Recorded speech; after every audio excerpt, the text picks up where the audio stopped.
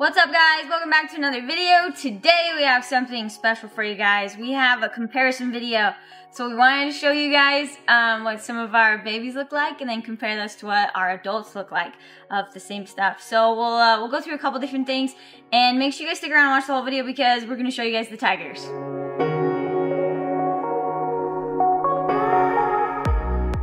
Alright, okay, first let's go ahead and let's do a Kingsville because I feel like Reds uh, they changed pretty drastically um, over the course of uh, of them maturing and everything. So let's just grab. This is just one of the babies. This one's a male, but anyways, let's just check him out. Alright, so as you can see, I mean, there's a little bit of orange in there, lots of browns. And uh, as babies, they vary a ton too, so keep that in mind. But anyway, so this is just one of the males from this, uh, this year's clutch. And uh, let's go ahead and grab one of the adults and show you one of those. Action. Alright, this is my big Kingsville female. And uh, as you can see, there's a drastic color change from that baby to like what they have potential to look like. And she's not even like one of the reddest Kingsvilles there are out there. There's ones that are way redder than she is. But she is my redder of the two adults that I have. The male is not nearly as red. Um, she is a pure Ginter line, Kingsville. And my male is actually a John Cherry Ginter cross. And so he's not as dark red. He's more of like a, a brick kind of red color um, with a lot more of like the browns throughout him. But anyways, big difference from baby to adult. And not just in size. So, uh, pretty, pretty cool, pretty neat. And I'm hoping I have a, a grow-up male that we've shown before that I'm gonna be breeding back to her. And hopefully they'll produce some even better reds in the future. Okay, next one. Uh, she's a little riled up and it was Spencer, so. Uh, anyways, this is an Axanthic patternless, a Balam. And she is, yeah, she's feeling pretty fiery today. But as you guys can maybe hopefully see, if I can get her to like come back up here a little bit more without getting totally chomped. Um, here we go. That's a decent view. Alright, so definitely still gray and has some of that axanthic look. She might actually be in the blue right now. She might be. I don't know. Hard to tell. But uh, she kind of does have a lot of browns also throughout her. Uh, but uh, anyway, still definitely axanthic. Um, not nearly what a normal uh, patternless would look like. But uh, let's show you an adult version, and uh, hopefully the adult will cooperate a little bit more um, than this little girl. And uh, they, they do change a little bit as they grow. They, they do get, well, here's the funny thing is I have like two. Um, and they look completely different than each other, but they're supposed to be the same thing. So maybe I'll pull out that younger one too and then show you the older one and uh, let you guys see that Axanthic can vary actually, um, unless it's something else. But anyway, I'll, I'll, show you. Okay, this is that younger, oh my, that was fast. Um, that younger, older one that I was talking about. So the crazy thing is, is that he's supposed to just be an Axanthic patternless. Um, but I am not super convinced that that is all he is. I actually have this feeling, uh, well, I, hypo has popped up, uh, recently in, uh, these guys, I think, and I'm wondering if this guy is actually a ghost because of how light he is. But, uh, anyways. Once I get him big enough, he'll be one of my breeders. He might actually breed this upcoming season and then maybe we'll be able to figure it out. But no matter what, he is axanthic patternless. Um, just maybe there's hypo involved in here. We'll find out. I'll show you a real axanthic patternless next. Okay, here's an axanthic patternless that I know is like just all axanthic patternless for sure. Uh, this is a three-year-old female I've been growing up. And as you can see, like she is dark, really dark. Most of the browns, well, she still is brown, but I feel like way more of it turned to the gray color um, that like you kind of know for Axanthics. And so anyways, um, really pretty. They don't really keep uh, obviously they're patternless, right? So there's not really any pattern. She did have a little bit by her tail when she was uh, when she hatched, and she still does. So most of the time, if they have pattern as a baby, they're probably gonna keep it as an adult. And she is just going all over the place. But anyways, as you can see, uh, they do uh, vary. That other male I showed you guys, I'm really not sure that he's just axanthic patternless. But even my uh, older, my, I do have one other male. Um, he's my adult. I'm not pulling him out today, but uh, he's dark like this, although I'd say he's a little bit lighter. She's even darker. Um, and then I'll probably have more someday. But uh, but anyway, so that's a pretty good comparison. Um, in my opinion, I think they're just gonna get darker. So at least for the Balam line. Miami line though, I don't really have much experience with. So keep in mind this is Balam Axanthic and not Miami. Um, I'm still working on uh, getting Miami line uh, patternless going in this room. So it's a project I have. We're working on it. So anyways. Alright, okay, next up is one of me and Spencer's, both of ours, uh, one of our favorite morphs in this room. Um, and this is a ghost. So this is a Miami line, and this is a Stillwater line for the hypo. And uh, this uh, one in particular is actually just outstanding. Uh, so not all babies look like this one. This one has like such.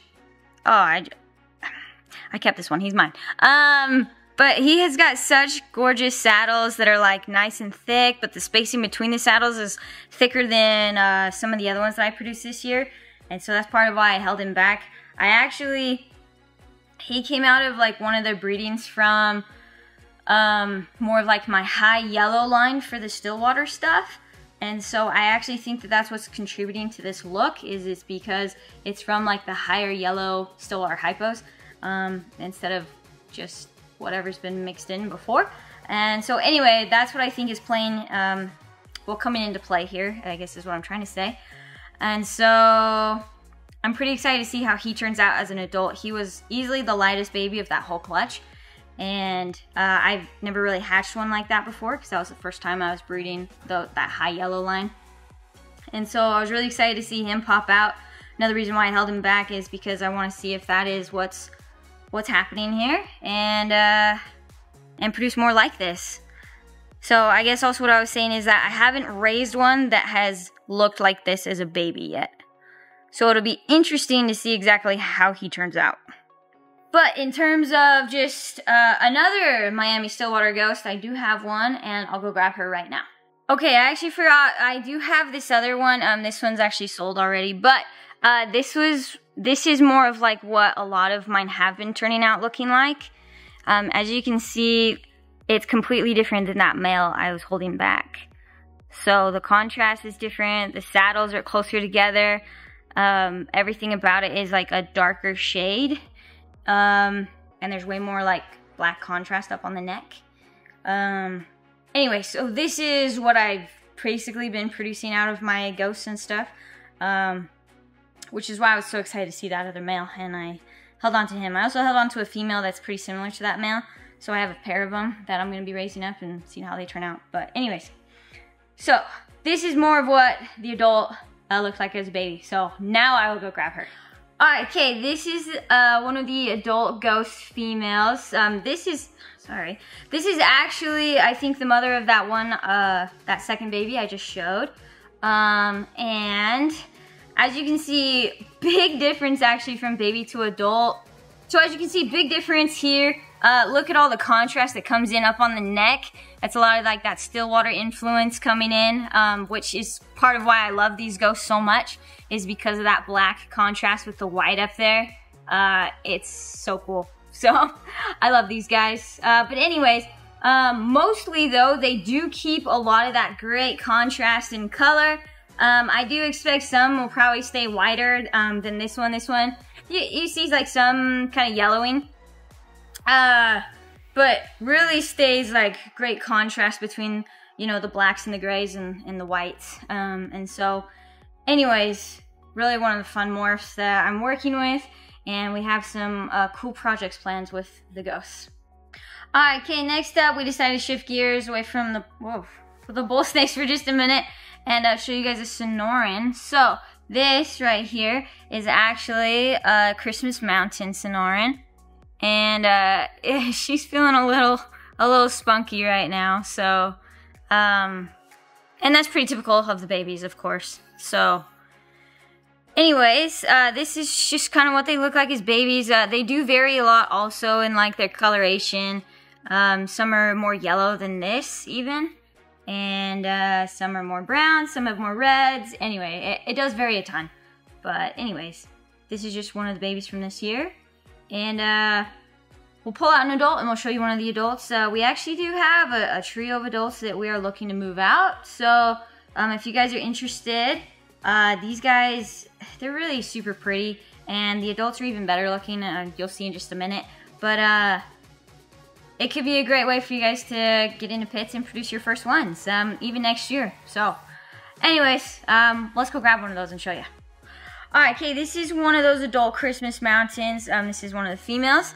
Uh, this is one of the ones available. Um, and she... I don't actually know if she sired that baby, but, um, sired, if she produced that baby. But she might have. She might have been that one. So, uh, anyways, as you can see, like, they really do mature and get so much color. She's got a lot of black contrast up on her neck, which I think is really cool and unique. Um, it's part of why I Really like the way that she turned out. And then like all this red coming in down on her tail.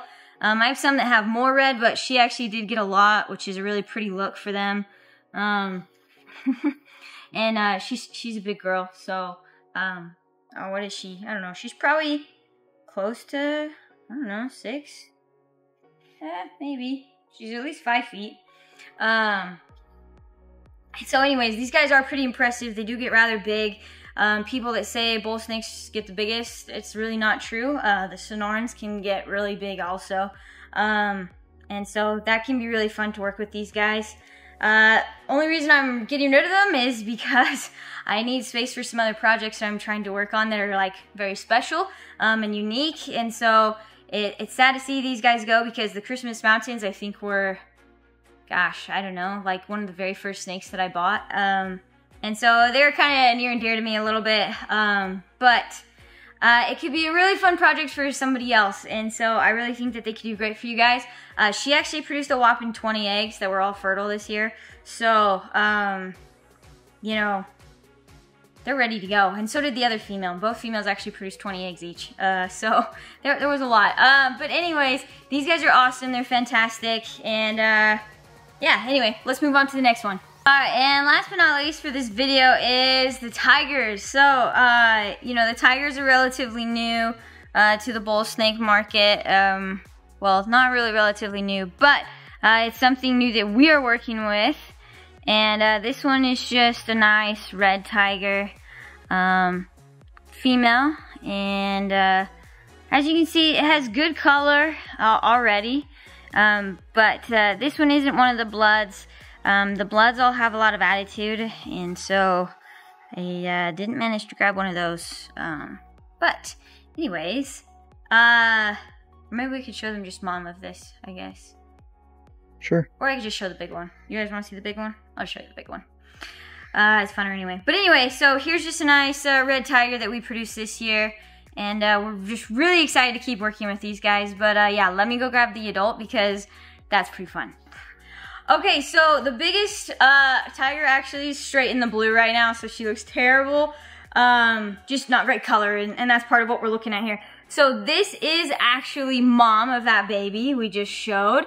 Um, she's the smallest of my three females, so not like as super impressive, but check out that color difference um, from baby to adult. They do still, just like the reds, obviously, um, gain a lot of color as they grow. And, uh, as you can see, just such a striking pattern. You really see where they kind of get the name tiger from looking at that. See you good? Is that better? anyway, so uh, she's just a nice red tiger. Um, there was no surprises that popped out of her in terms of like the white side and hypos and albinos that we ended up getting. Um, but as you can see, she is still just a gorgeous example of what a tiger looks like. Um, and we're excited to get her to produce again next year. So anyways, if you guys want to see some other comparisons, just like drop them in the comments below and maybe we can do another comparison video later. Uh, all the adults are about to go down for brumation. Um, so the comparison video might have to wait just a little bit, but um, we're happy to share with you guys. So if there's specific stuff that you want to see, uh, how that really matures, I know I don't have every example in my room, um, but happy to hear you guys' uh, thoughts and ideas. Um, and if you guys have any other thoughts and ideas for videos throughout um, winter, because uh, all the adults are going down, so we might have to get a little creative. So if there's topics you guys want us to cover, things like that, let us know. Uh, otherwise, make sure that you guys like and subscribe, and we'll see you guys next time.